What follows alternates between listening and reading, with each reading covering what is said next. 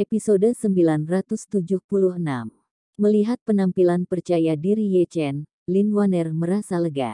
Kemudian, dia melihat waktu dan berkata, Tuan muda, sekarang sudah hampir jam 8. Saya ingin tahu kapan Anda berencana pulang. Ye Chen berkata, Ayah, mertua saya biasanya pergi ke lukisan dan kaligrafi asosiasi pada jam 9, yang cukup dekat dengan rumah saya. Nona Lin tidak perlu mengantar saya, helikopter terlalu berisik di pusat kota, jadi saya bisa kembali sendiri, kata Lin. Waner, Tuan Muda, bagaimana saya bisa membiarkan Anda kembali sendirian mengantar Anda kembali dengan keluarga saya? Saya harus. Ye Chen buru-buru berkata, saya benar-benar tidak perlu repot, aku bisa pergi sendiri. Lin Waner berkata pelan, jika kamu pergi begitu saja, kamu akan melewati halaman di bawah, dan para pelayan akan melihatmu meninggalkan halaman budak pagi-pagi sekali. Mereka masih tidak tahu bagaimana melihat keluarga budak. Ye Chen bertanya dengan canggung, lalu bagaimana menurut Nona Lin itu pantas? Lin Waner berkata, Tuanku, tunggu sebentar, dan keluarga budak bisa membuat pengaturan. Ye Chen mengangguk, dan berkata, kalau begitu bekerja keras, Nona Lin. Mari kita atur. Lin Waner tersenyum bahagia, dan dengan cepat berkata, Tuanku, tunggu sebentar, saya akan memberi tahu Anda. Lalu, dia mengambil ponselnya, menelepon, dan berkata, Zhang Tua, kemarilah. Dia menutup telepon, dan Ye Chen bertanya dengan rasa ingin tahu, apakah Zhang Tua? Yang kamu panggil ini yang kamu panggil kakek di Eropa Utara. Lin Waner tersipu malu, dan berkata dengan malu-malu, Tuanku, tolong maafkan saya pada saat itu, keluarga budak hanya bisa berbohong bahwa Lao Zhang adalah kakek dari keluarga budak, agar tidak curiga. Asteris Ye Chen melambaikan tangannya dengan acuh tak acuh, dan bertanya dengan rasa ingin. Tahu, sebenarnya, dia adalah anak yatim piatu angkatmu, kan? Petik 2. Ya, Lin Waner mengangguk, dan berkata, Tadi malam, keluarga budak memberi tahu Tuan Muda bahwa Lao Zhang, serta dua orang tua lainnya yang tinggal di sini, semuanya yatim. Piatu yang diadopsi oleh keluarga budak bertahun-tahun yang lalu. Ye Chen tidak dapat menahan diri untuk bertanya, apakah kamu akan merasa sedih saat melihat mereka berubah dari bayi menjadi orang tua? Petik 2. Tidak. Lin Waner berkata dengan tenang, setiap orang memiliki takdimnya sendiri, dan keluargaku dapat hidup lebih lama dari 300 tahun, adalah nasib keluarga budak, juga nasib mereka bisa bertemu dengan keluarga budak, dan tidak ada hubungan darah, jadi wajar juga memandang rendah segala sesuatu. Ye Chen mengangguk ringan, tapi dia masih tidak bisa mengerti perasaan seperti apa itu. Beberapa menit kemudian, seorang lelaki tua datang ke halaman lain Lin Waner membebankan pintu dengan lembut, dan berkata dengan rasa hormat, Nona, budak tua itu ada di sini. Lin Waner berkata dengan keras, masuk. Pintu halaman didorong terbuka oleh lelaki tua itu, dan dia melangkah ke pintu, dan tiba-tiba melihat Ye Chen duduk di kursi guru, ekspresinya terkejut. Meskipun dia tidak memiliki ingatan melihat Ye Chen di Eropa Utara, dia telah melihat Ye Chen saya tahu bahwa inilah yang dicari Nona, dermawan yang menyelamatkan tuan dan pelayan di Eropa Utara. Setelah terkejut sesaat, Lao Zhang buru-buru memberi hormat dan berkata, Budak tua Zhang Decai, saya telah bertemu Tuan Ye. Terima kasih Tuan Ye karena telah menyelamatkan hidupmu. Melihat orang tua seperti itu memberi hormat kepadanya, Ye Chen segera bangkit dan berkata, Orang tua, kamu terlalu sopan, ini hanya sedikit usaha, jangan terlalu khawatir. Petik 2. Lin Waner berkata pada saat ini, Zhang Tua adalah kepala pelayan yang selalu dibawa oleh keluarga budak bersamaku. Kamu tidak harus terlalu formal, perlakukan saja dia sebagai pelayanmu.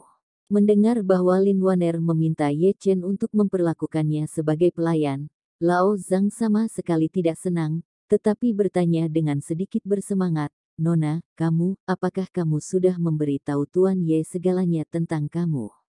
Mendengar pertanyaan Lao Zhang, Lin Waner tiba-tiba teringat apa yang terjadi tadi malam, wajahnya yang cantik menjadi merah jambu karena malu, dan berkata dengan tidak wajar, saya telah jujur dengan Tuan Ye, dan saya telah memberitahu Anda semua tentang 300 tahun terakhir, tahun setelah mendengarkan Tuan Ye, mulai sekarang, Anda tidak perlu menyembunyikan apa pun di depan Tuan Ye, mengerti? Lao Zhang mengangguk dengan semangat dan berkata, Nona, jangan khawatir, budak tua ini mengerti.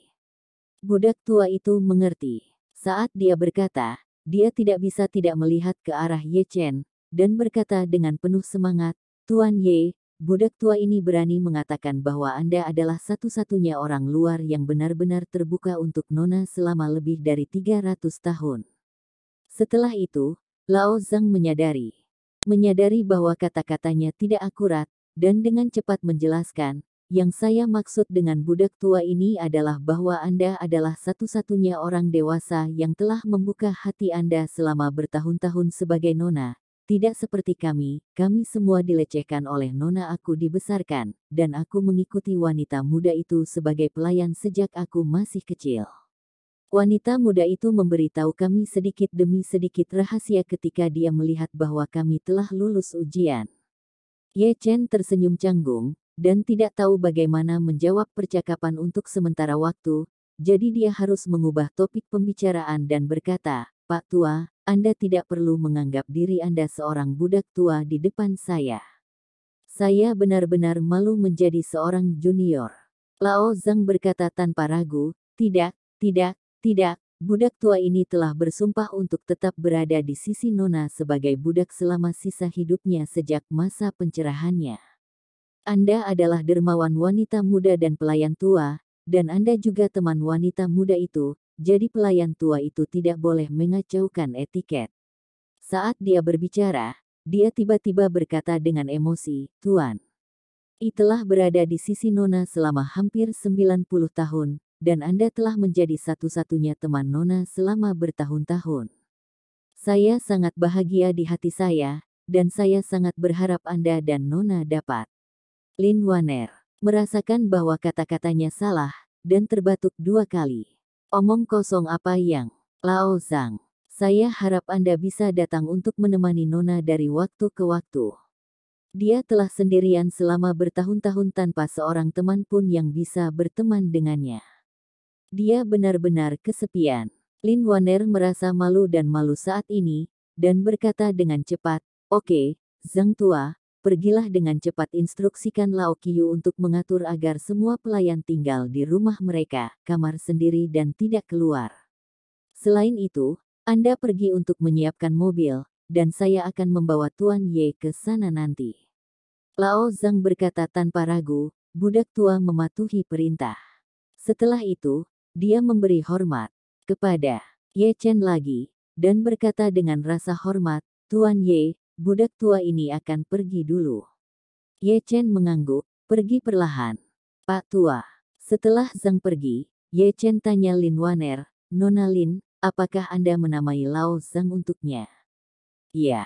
Lin Waner berkata sambil tersenyum, keluarga budak menamainya Decai, karena dia memiliki kemampuan dan integritas politik.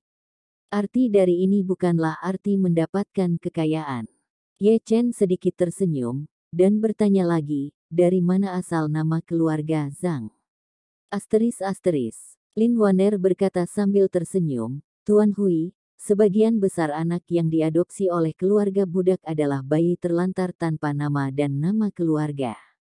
Nama keluarga ditulis di atas kertas, diremas menjadi bola-bola kecil, dan kemudian mereka akan menangkap mereka dalam keadaan linglung, dan siapa pun yang menangkap mereka akan memiliki nama belakang, Ye Chen. Bertanya dengan canggung, apakah begitu santai? Lin Waner bertanya dengan rasa ingin tahu. Kalau tidak, jika keluarga budak memberi mereka milik mereka sendiri, jika mereka tidak menyukainya ketika mereka dewasa, bukankah mereka harus menyalahkan keluarga budak? Jadi cukup adil dan masuk akal untuk membiarkan mereka memilih nama keluarga mereka sendiri seperti menangkap Zhou, tidak hanya mereka dapat memilih nama keluarga untuk diri mereka sendiri, tetapi keluarga budak juga dapat memainkan permainan kecil dengan mereka, yang merupakan yang terbaik dari kedua dunia. Ye Chen mengangguk. Meskipun dia tidak mengatakan apa-apa, dia merasa di dalam hatinya bahwa meskipun Lin Waner telah hidup selama hampir 400 tahun, dia tampaknya masih memiliki hati seorang gadis yang kuat. Mungkin seperti yang dia katakan sendiri. Pada tahun 2000, itu selalu menjadi pikiran dan cara hidup seorang gadis. Saat ini, Zhang Tua berlari menuruni tangga batu. Tubuhnya sebenarnya tidak mampu mendukung gerakan seperti itu, tetapi dia sangat bersemangat, jadi saya merasakan A jauh lebih ringan di bawah kakiku. Segera setelah saya berlari ke lobi gedung utama di halaman di lantai berikutnya, Qiu Yingshan, yang sedang minum teh dengan Sun Zidong, bertanya dengan rasa ingin tahu, Zhang Tua, mengapa kamu berlari begitu cepat? Di usia yang begitu lanjut, saya tidak takut berbaring di sini tanpa bernapas dengan teratur. Lao Zhang memandang keduanya sambil tersenyum, terengah-engah, dan berkata dengan suara gemetar dengan susah payah menyembunyikan kegembiraannya, Selamat, acara bahagia. Tuhan acara bahagia besar.